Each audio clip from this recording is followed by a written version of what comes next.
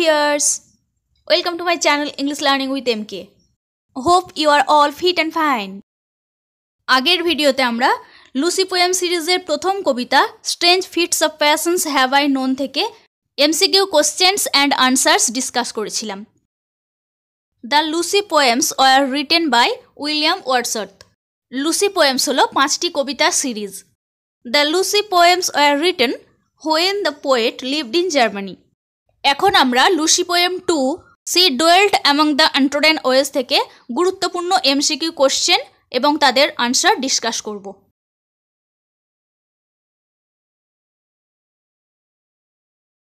Okay let start. First question আছে, she dwelt among the untrodden ways was written in. She dwelt among the untrodden ways এই কবিতাটা লেখা হয়েছিল কত সালে? লুসি পোয়েম সিরিজের কবিতাগুলো কবি লিখেছিলেন সেভেন্টিন হান্ড্রেড নাইনটি এইট এবং পাবলিশ করেছিলেন আঠেরোশো সালে। এখানে চারটে অপশান আছে। Option A seventeen ninety eight, option B eighteen hundred, option C eighteen hundred and one, option D eighteen hundred and two. So, এখানে কারেক্ট অপশান হবে option A, seventeen hundred ninety eight. Second question what is the alternative title of the poem she dwelt among the untrodden ways? She dwelt among the untrodden ways, এই কবিতাটার alternative title কি? Option A আছে, the education of nature. Option B, the lost love. Option C, return to nature. Option D, none of the above. এই কবিতার alternative title হলো the lost love. So option B হলো correct answer next question she dwelt among the untrodden ways was first published in এই কবিতাটা she dwelt among the untrodden ways প্রথম প্রকাশিত হয়েছিল।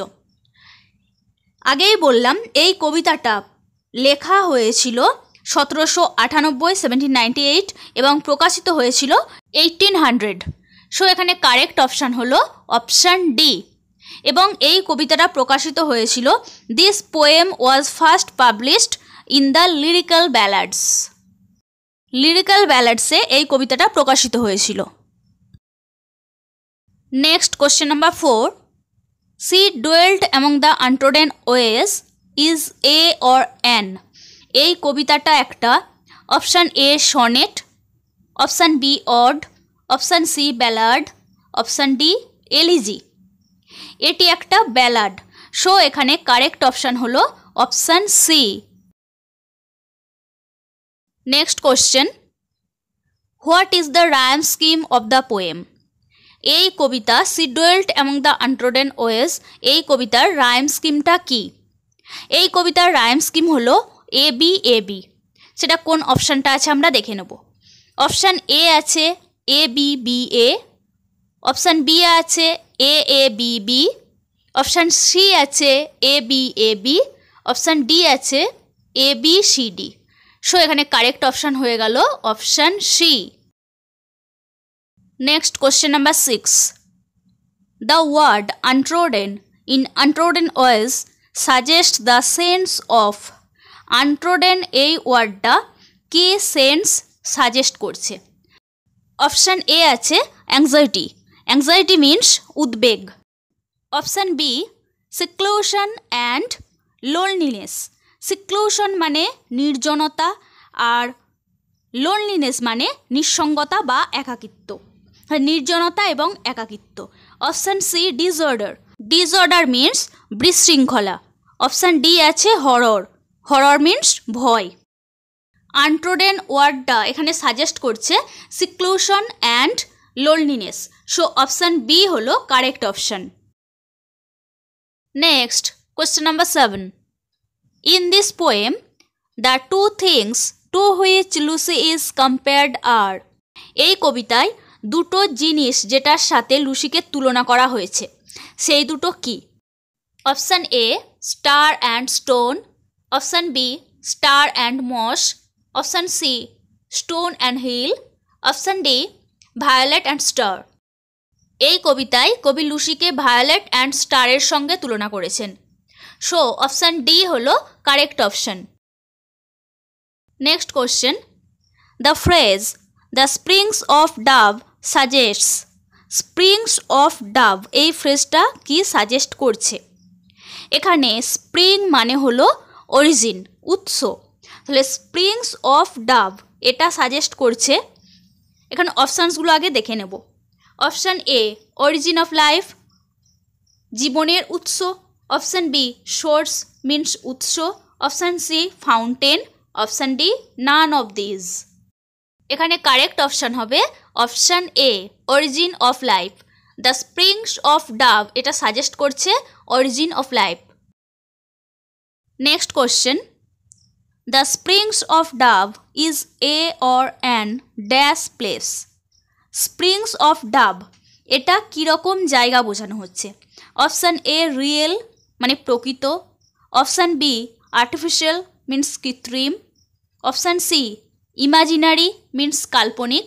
Option D remote springs of Dove এটা একটা কাল্পনিক place so option C হলো correct answer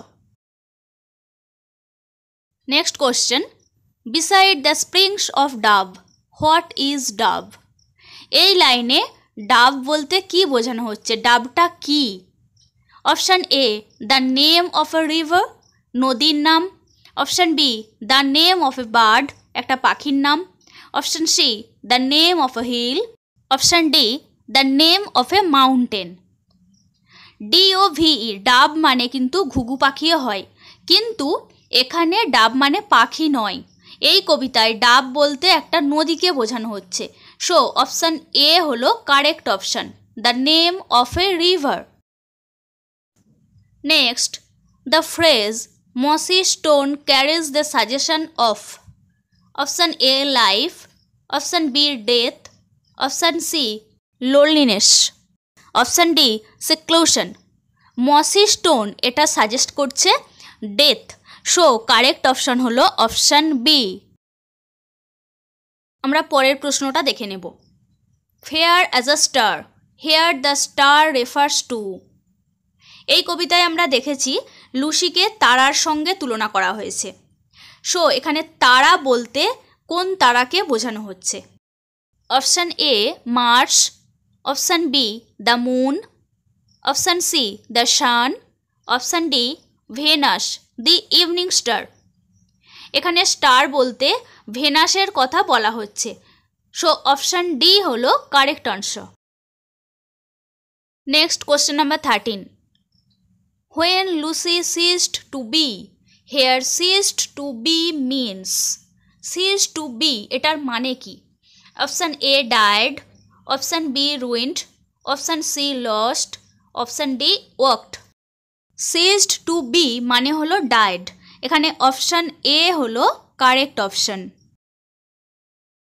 next question number fourteen the poem centres round the theme of option A beauty of Lucy option B growth perfection and death of Lucy option C loveliness of Lucy option D none of the above এই কবিতার মূল বিষয়বস্তু হলো growth perfection and death of Lucy so correct option হলো option B next question but she is in her grave and oh the difference to me here the word difference denotes in this line she refers to Lucy and me refers to the poet এখানে difference ওয়ার্ডটা কি denote করছে? Lucy মারা যাওয়ার আগে কবির জীবন কেমন ছিল এবং লুসি মারা যাওয়ার পরে কবির জীবন কেমন, সেটাই এই ডিফারেন্স ওয়ার্ডটার মাধ্যমে বোঝানো হয়েছে। এরকম অপশান কোনটা আছে আমরা দেখে নেব। Option A, the difference between Lucy and the star. Lucy এবং স্টারের মধ্যে পার্থক্য, এটা হবে না। Option B, the difference between Lucy and violet.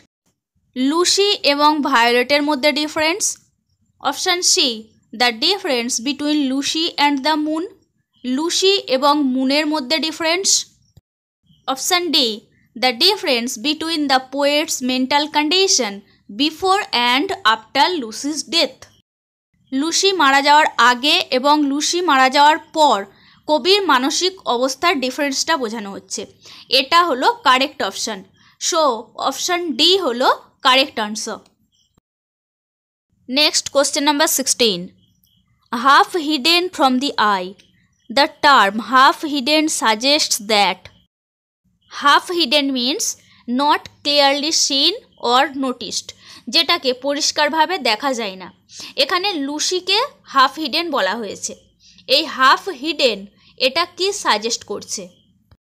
Option A Lucy was unnoticed and her association with nature option B Lucy was short lived option C Lucy was beautiful option D Lucy was powerful আগেই বললাম যে half hidden বলতে যেটা clearly দেখা যায় না, এবং এখানে Lucy is half hidden from the eye so correct option হলো option A Lucy was unnoticed and her association with nature next question fair as a star is an example of এটা কোন রেটরিকের উদাহরণ?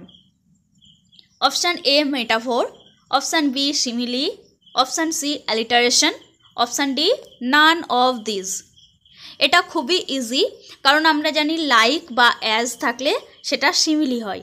সো অপশান বি হলো correct option next and last question the phrase ceased to be is an example of option A simile option B metaphor option C euphemism option D hyperbole এটি হলো ইউফোমিজমের example so correct option হয়ে গেল option C এরকম আরও অনেক video পেতে subscribe like comment and share